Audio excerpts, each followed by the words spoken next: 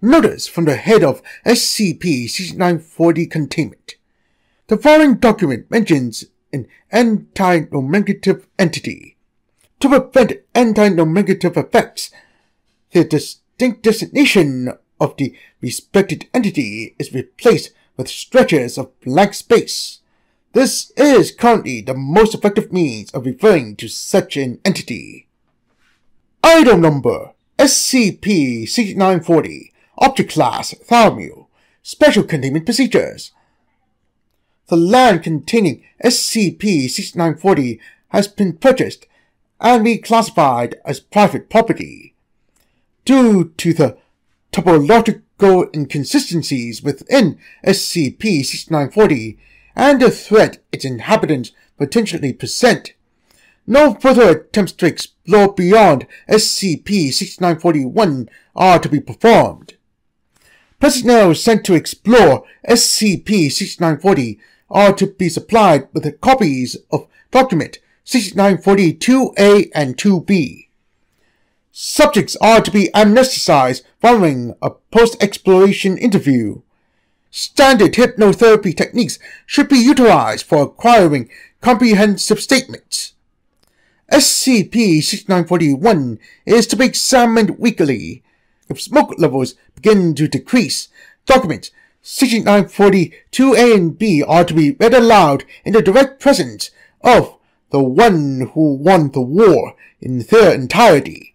This is to be performed in person by an adult human female sharing near identical ethnicity and hair color as the worker born in poverty. A full list of such personnel can be found in document 6941C. Description SCP-6940 is an extra-dimensional location accessible through a miniature wooden door. The door is attached to the bases of an oak tree located in the forest in Oxford, England. Site 6940. On the front of the door is a small wooden placard that reads, Governing Bodies of the Forbidden and Lost. SCP-6940 resembles a forested area containing multiple natural pathways. The layout is inconsistent, often altering between visits. Multiple clearings have been reported throughout SCP-6940 by visiting personnel.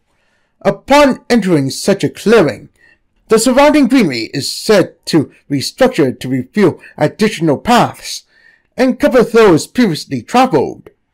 Additional pathways will similarly open, reshape, and close off as subjects attempt to leave, making navigation extremely difficult. Subjects lost in this manner remain so following additional explorations.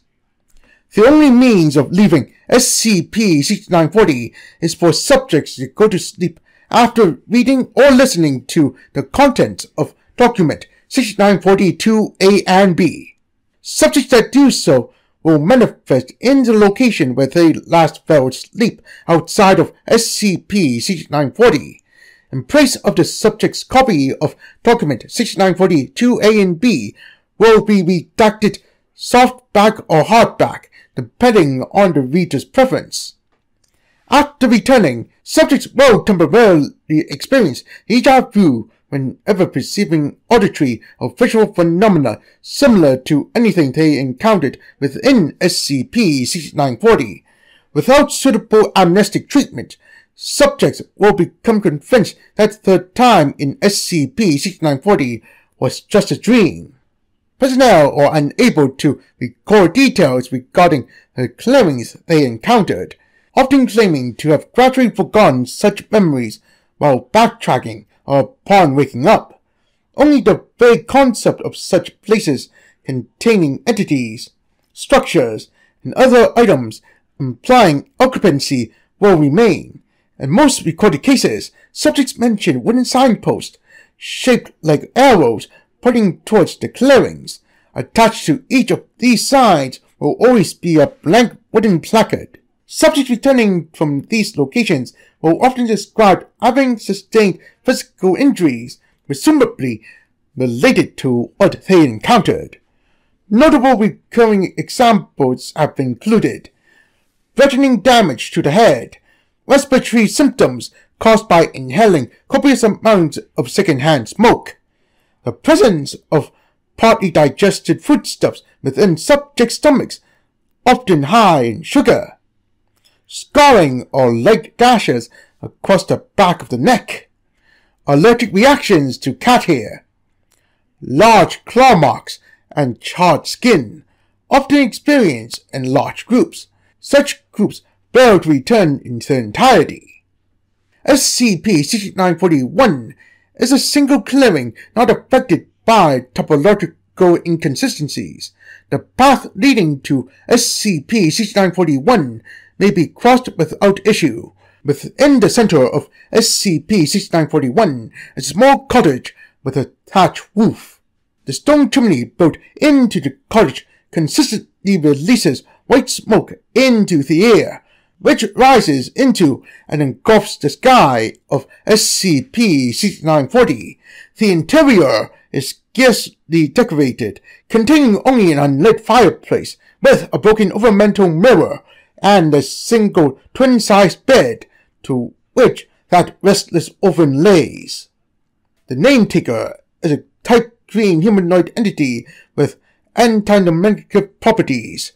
These features prevent the one forever dreaming from being referred to directly by name, title, or identity. Attempts to do so result in the loss of a subject's primary name, title, or metaphysical property identifying as an individual when never granted their own name is unconscious, and does not physically age or suffer any malnourishment from a lack of sustenance. White burning smoke is consistently produced from the top of the head, which floats towards the fireplace and up through the chimney.